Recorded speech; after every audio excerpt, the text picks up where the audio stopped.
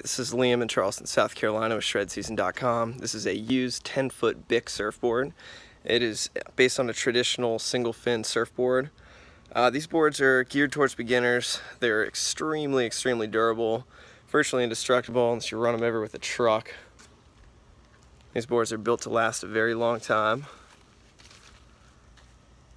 Some of the paint is peeling off. These ones, so there's not a regular glassing job like on a regular poly board on these.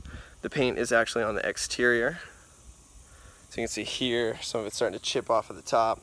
Uh, there's no major damage at all to this board. Cannot find anything that goes to the, that is um, more than cosmetic damage. These boards, again, they scratch very easily because there's no glass on the outside. And it's a single fin, you can see it there. Let me show you the other side real quick.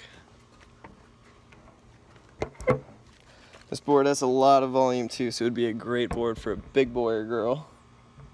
Also be an extremely good board to learn how to surf on. All right, here's the other side. Got just plain white on the other side. Let me show you the fin real quick.